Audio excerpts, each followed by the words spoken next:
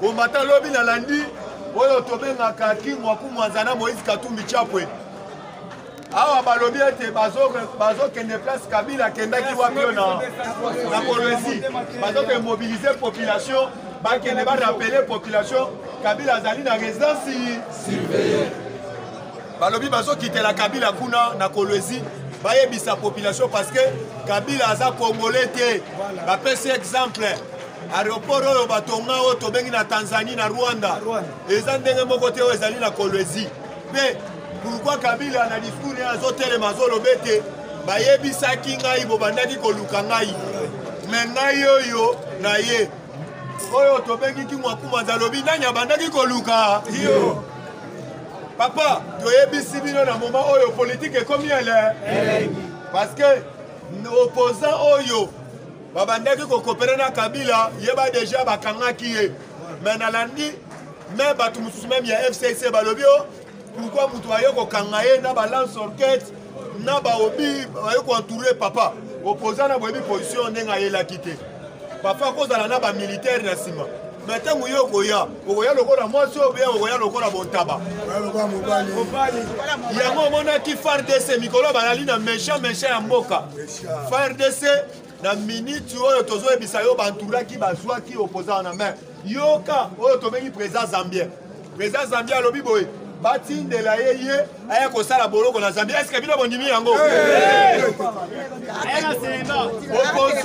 opposant oyo tobengi ya nani ya zambie azosala déclaration alobi ete ye ayaki mpo na kocreye rebellion na kabila te ayaki mpo ete ayaki kosenga kabila mbongo mpo ete akende kosala campagne papa kabila biso na yo awa atiki biso na nzala obi atiki biso na nzala te mbongo ayibi eske ezali ya zambi ezali mbongo ya bako me ndenge nini kabila akomi kosutenika bamboka ya bapaya bokomprendre ete kabila azali mboro bata nazoka te efale bokomprendre ete kabila azali mboro combattant nakoyebisa bino ete awa toyebisi yo tokomi na village ya nsuka par rapport à nini déjà oyo tozobenga toute la communauté internationale misu na bango ezali brake na kati ya république démocratie du congo papa tolobaka ete ata oloki na monde gratuit soki oluki faci beto okozwa ye ata moke ye me napesi mise ya ngai na ngai natingi mpululu après discours ya chef de l'état nalandi yo bapropos banda kololobi eloko nini ezozanga faci po akanga bato wana ye azali garant de la nation nde bato bakendaki bamankaki ye mais pourkoi atalaki akangi bango toyebisi yo yeba deja faci apesi bino mise en garde alobi boye deux ans ya pamba auti kolekisa deux ans humiliation mais cette fois-ci oyo akomeka akozwa cikubuji ya nde combattant toyebisi bino faci azali na méchant me parce que boyebisaki faci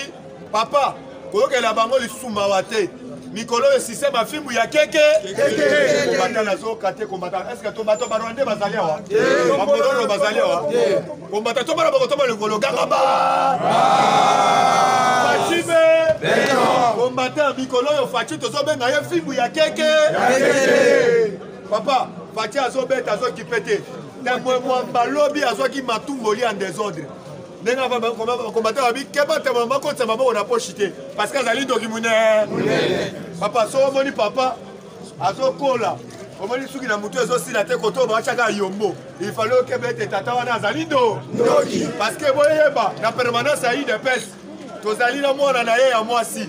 mwana ye ti lelo biso tokokaba mbongo tomona ntango ebomba te 80 000 francs oyo napesi mwana na ye azongisa mpe interet papa nayebisi yo oyo tobengaka union sacré papa ebele bakomesana muzitu na fayulu bamoni ete batikali nsima lobi bake komona oyo tobengaka tibor oyo tobengaka tibor nagi eh, tibor nagi bakende komona ye sous secrétaire papa bake komona ye bazoplaide ete o oh, faci nde azali wana bakabwani na kabila te yoka degre ya bato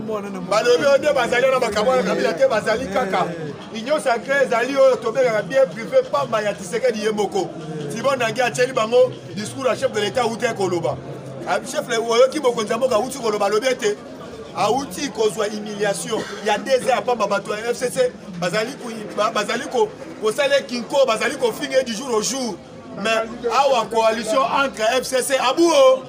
mais bino bimaka mingi booloba papa nazoyebisa yo fayulu azali aza na liboma tozosenga na faci amema ye lokola amemaki mpe papa mwana nsemi bakende kotala ye butu eh,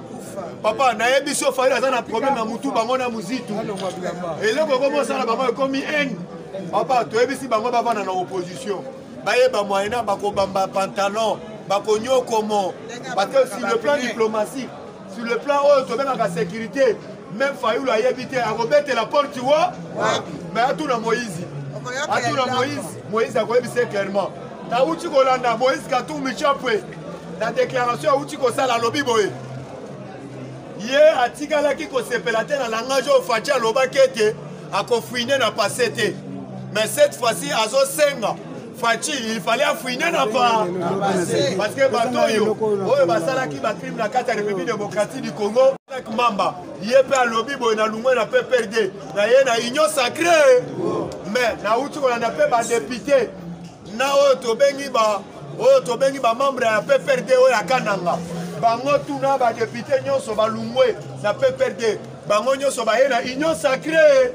papa nayebisi yo union sacré soki otikali okotuna ngu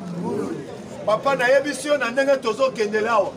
félix antoine tshilombo kisekedi boyoki programme na ye oyo deja alance alobi boye d'ici bientôt peuple congolais nyonso ye nde moto akosekirize pouvoir na ye mpe guvernema oyo ekobima ezali guvernema oyo tobengaka ya union nationale oyo tobengaka ya bakongole nyonso mpe oyo tobengi guvernema en place oyo ekozala en place boyeba bie nde tozali wana toservir peuple tozali mingamba ya popula oyo tobengi pouvoir na ngai ezali ya le peuple da papa ezali pamba te tozozwa mokonzi ya mboka azali koreconnaitre ngai na yo yango toali na droit ya kopesa ye longonya mingi ya kosoutenir à 100 awa tozoloba boye combattant awa ndenge tozozonga oyo meme bandako papa eloko moko totikali nango il fallait bato ya fcc toyebi bien balali te parce que oyo tobengi bourgmestre ya kiwa oyo tobengi tous les bourgmestre bazwi babateri na bango batye en place papa bourgmestre oyo tobengi ya masina oyo tobengi kadima papa babrukumese wana efale bakanga bango parceke bazali bakulu na mine minene parceke awa sese bomonaki ntango bakangaki paul badiakate le bakangaki bakangaki plupart aussi na 800 000 francs oyo babandaki kokabola bajeune parceke basimba bamachete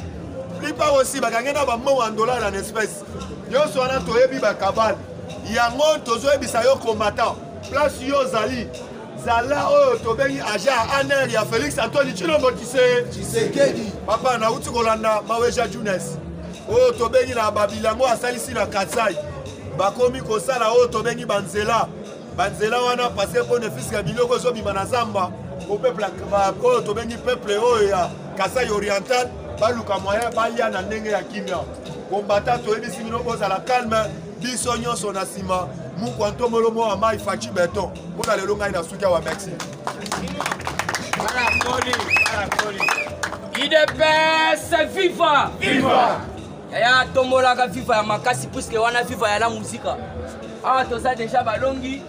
fo makambo nyonso tu ezala alamiable boye to boye te manifestaka mpe esengo puiske bato balandaka biso basepela na esengo wana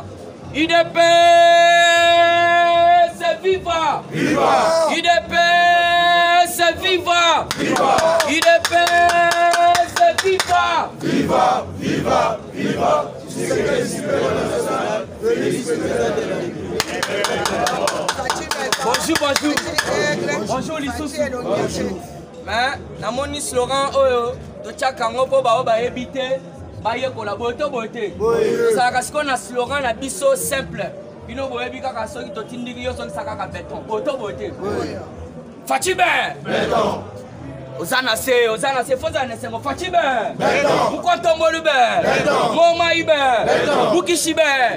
le grand esprit ben antuka betela cilombo maboko papa tala oboyi kobetele maboko mizela tala intelligence oyo nango oyo faci aza nango ndenge bakwesi biro ya sala ça fait quelle intelligence bazoloba betele cilombo eh, tobeteli cilombo maboko makasi ye moko alobi bientot biro ya assemble ya sika ekozala place tala message alobi zwa yango kaka na vole moko soki totie basenatere na badepute eza mpo na faci ayebisa bango boye bientôt nazoya na gouvernement ya union sa ayaya gouvernement ya union sa eza lisusu union sacré te ekomi union sicré union si puiske elengi wana bato nyonso tu baza koya elengi wana bato nyonso tu baza koya yango wana tochange yango ekomi union sukali faci behe tala moko atombola alobi boye alobi ba effort nyonso tala félix lere azoloba tala maloba azoloba ezowuta nde na motema puiske lobi me badepute ya fcc baoyo bazalaka bandoki babongolaka mitema basala nini ntambo mamba bolandi te epa mama mark faci be e eh, mama denise soki sa slogan faci be jeri kasereka lobi epa mama denise nyakero est ce que toyebisi yo cheri kasereka mama denise asalaka politique faci be mama denise aza moto ya ba ong denise nyakero ceci cela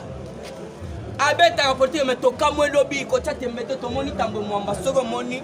kosincline wana mbotala kubete oyo ezalaka te Thierry Kasereka se couper mais oui puisque baétranger bazalaka eh, donc surtout barwandais bazalaka na komikitisa moko yo kokokomprendre te ndenge amikitisa mais soki aye na eloko moko donc rwandais akobomba secret ou soit donc akomiboma po abomba secret rwandais yango toyebisa mama denise nyakero bato aboye koyamba bango na palais na biso te tolingi eh, mama denise antuka luka kabine na yo ya makambo etali oyo tobengi ba ong puiske tomoni ntambo mambalo kotya tembe te foto ezali eloko wana bakombate basepeli na yango te ntambo mamba aza kamikazi soki asesplose na ndako boluka kote mosusu bobanda kokutana akoya kosexpose na ndako biso nde toperde tala baelongi na biso toza na kota kokende te tozobatela motu na biso soki bino bozoyela basentiment na politike tokende na baorige na bino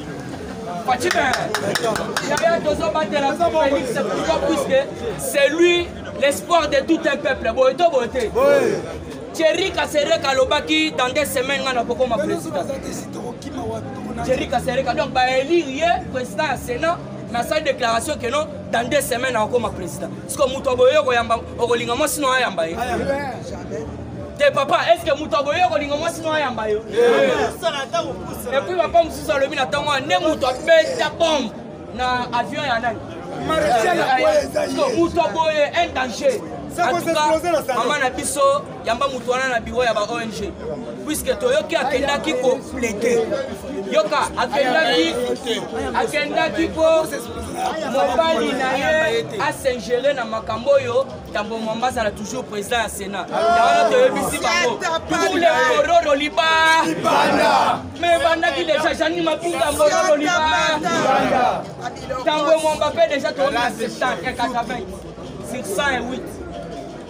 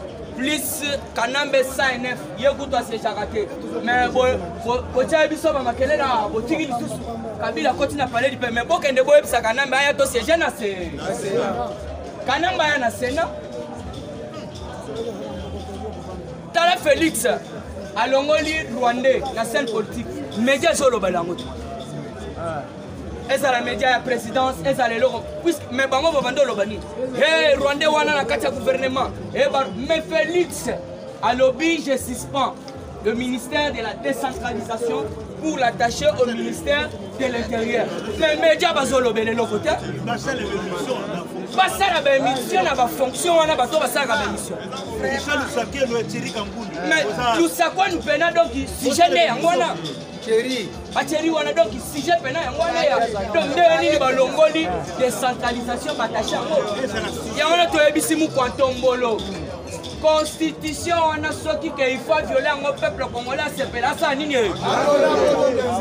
olie ya kobomba kobatela baloi aux intérêts ya baindividu moko boye boye to boye te donc tolobi na mokwa ntombolo soki ke institution lofo nyata yango biso peuple tosepela ifo anyata yango nde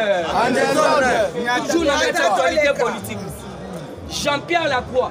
visite officielle na kati ya république démocratique du congo babandi koya aza chargé ya baopération na mopanzi ya bamambo etali union oni alors jacques pierre lacroix alobi asali visite akutanaki na oyo tobe chargé de paix puisque félix aza déjà pre nayebisaka bino qui veut la paix prépare la yango wana sikoyo omoni lobi jean pierre lacroix akutanaki na martin madidi na ndeko na ye muzito misu mavondo puiske bato wana baye na politike na motema mabe na politike koyinaka moninga te yango na olandaki oyo tobengi moïse katumbi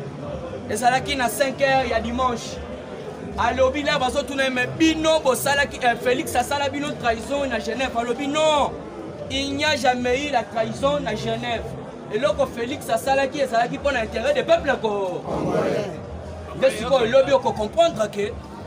jean pierre lacroix lisolo ebetami na euh, oyo tobengi martin madidi na mozito eza nini bango bazoloba ke non au lieu avant tosala bareforme ya bainstitution il faut toleka na baélection ou soit tosala dialogue sikoyo il faut bocomprendre martin fayulu na ndeko na ye eloko ezosala bango eza nini babanda kokanisa ete felix azozwa mikano epa kabila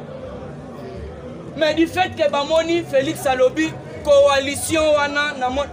zela na na mo moko felix alobi oyo esali nga bien oyo esali nga mpena bien malgré les efforts que j'ai déployé les sacrifices et les humiliations que j'ai toléré cela n'a pas suffi à faire fonctionner cette coalition FCCK.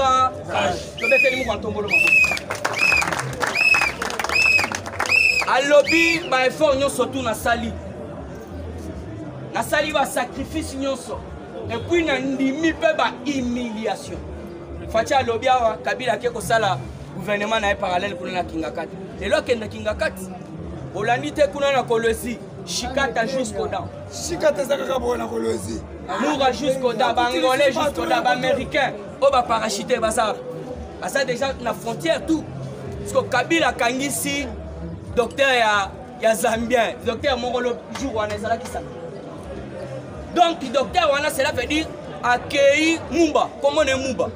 akei na frontière mpo akatisa kolozi bakutana na kabila service ya dgm nayebisaka bino ambassadeur amere atambola na deuxième tour atika baélément na deuxième me comprendre que un grand opposant ya zambie arrêté en république démocratique du congo puisque falaki akɔta basala complicité na hippolyte kanambe alors il faut bocomprendre que non docteur muba aza aux arrêt et puis bapesi biso information aza déjà awa na kinshasa mpo azala auditionné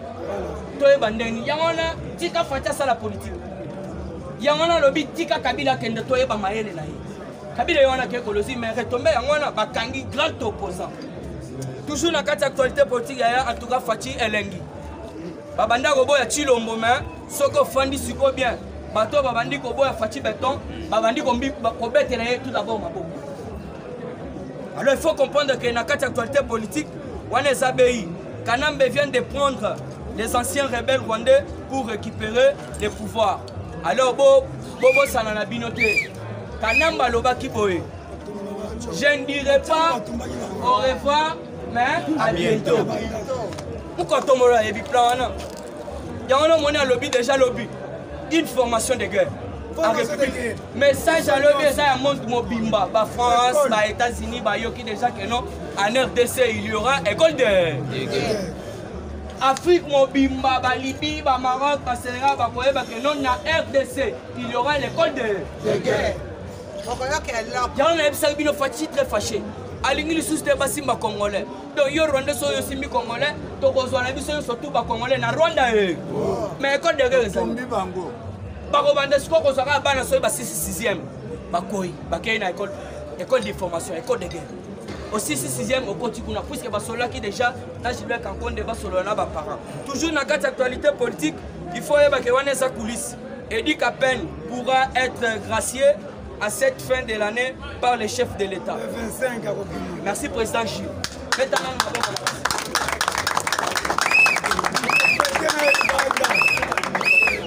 Eddie Capen aza sikoyo moto aza lokola témoin gênant ya liwa ya musée Laurent Destiné Kabila.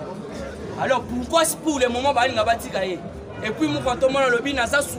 kosoutenir création ya tribunal pénal ya république démocratique du congo awa bolandaki 4 agents ya cpi bayaki awa mais suite na bango ezali balobi déjà il faut préparation ya ba procès ebanda 4 agents ya cpi balobi déjà il faut préparation ya procès ebanda alors vous devez comprendre que non fcc bato nyonso to basalaki bacrime moyen batika bango eza te yango wana mokwatomolo atikaki nano bango bakende babatama na sénat alors il faut comprendre bakei na assemblée bakei kote oyo sikoyo yango wana oyokaki docteur denis mukweke lere enconta chef de l'état lere bazotuna ye na euh, epa bajournaliste mais le docteur denis mukweke initiative oyo initie mpo bakanga bato oyo basali bacrime tala ndenge bake kobatama na senat bake kobatama na parlement est ce que bakokanga bango yoka docteur mukwege alobi les crimes contre l'humanité etikala jamais impuni donc cela veut dire bato nyonso oyo basala bacrime en rdc bakokangama toujours na kati ya actualité politique il faut boyeba ke non dans la démocratie c'est le peuple qui gagne le général bob ngoi lobi puisque côté ya est il faut déjà basoda bazala mobilise le général bob le commandant ya 3e région militaire na euh, oyo tobengi sud kivu asalaki parade abengi tous les gardes abengi tous les soda ayebisi bango soda il faut oevite ozala politise epuis il faut oevite oyo tobengi un tribal il faut koevite tribalisme na kati ya armée soki ngai nayoki biloko oyo euh, armée eza or baloi ya armée biso tokokanga puisque bacomprendre déjà moko atomala sala sa message abenga tous les généraux ya congo mobimba apesa bango alobi tala serment oyo bino bopreta liboso ya drapeau ya mboka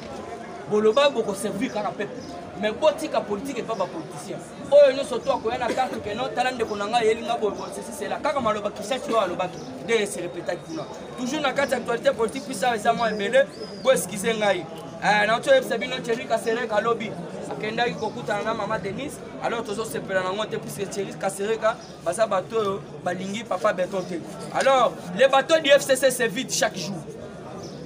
léon kengo wandondo adhère à l'union sacrée kengo wandondo alobi en tout cas tosala mabe makasi nde tomoni keno félix aza na susi ya mboka nazwi parti na ngai ya républicain puise aza parti na ye alobi bino nyonso tokokende bosadere na nsima ya union sacre oyo akoboya union sacre aza monguna oyo akoboya union sacre aza monguna wana bomoni kengo wandondo lobi alobi parti nanga mobimba bokende boadere na union sacre yango wana bayaki lobi fo bocomprendre bato nyonso tu bakomi obima officiellement batinga bapusu bani bango nyonso tu bakomi kosala yango officiellement alors mponake kochite le parti de mbusa nyamwisi samedi oyo bazosala marche mpo na kosoutenir mokwa ntombolo na union sacre antipasi mbusa nyamwisi boyeba keno faci asi azwi tonga na ye mokolo elamuka azwi tonga mbusa nyamwisi pour félix moïse katumbi pour félix oyo tobengi euh, jean pierre mbemba pour félix matungulu pour fe ye kutu aye tomoni na kosta alobi nazwa 50 000 dollars par mois ekoki mpo na nakoya kuna te afandi ne kuna omoni aya te na kosta alobi te moko ntomolo mpasi asala nga c'est du jamais vu parceke bato baza na kento yango wana omoni bazotambola bazokende na kento na motema motema mabe donc fayulu na ndeko naye baza na motema mabe parceke na politike oya na motema mabe te yango wana omoni félix soki ke fayulu akozwa eh, moto akobeneficie soit azwi eh, oyo tobengi privilège fayulu fale azwa puiske moto ya liboso oyo félix atandaki loboko se fayulu bobosana te afinga ye alobi loboko wana eza salite mais voye mitema mabe na bango alors c'est pour vous dire que non busanya mwisi alobi nazo soutenir félix tobima na balabala samedi to soutenir ye mpo na union sacré oyo asali eza mpo na biso alors bobosana te biso toza léopard moïse katu eh, nani oyo tobengi euh, martin fayol na ndeko na ye bayela biso système ya soso ya lamuka alors soso ebetelaki mbula epolaki donc union sacré toujours facibe toujours na kati ya actualité politique madame euh, oyo tobengi tumbazenza akosala réunion na tous les ambassadeurs accrédités en république démocratique du congo mpo na koyeba présidence ya union africaine ya mokonzi ya mboka betela cilombo maboko makasi faut kosolola na baambassadeur nyonso avant faci abanda boulot yaye ya union africaine bino nyonso tu bolandi alobi nazalaki eli vice président mpo na 2020 na 2021 nakokoma président donc président aza président ya maroc aza président tunisie aza président sénégal aza président ghana aza président botswana aza président ya sierra leone aza président ya madagascar donc aza président ya 54 état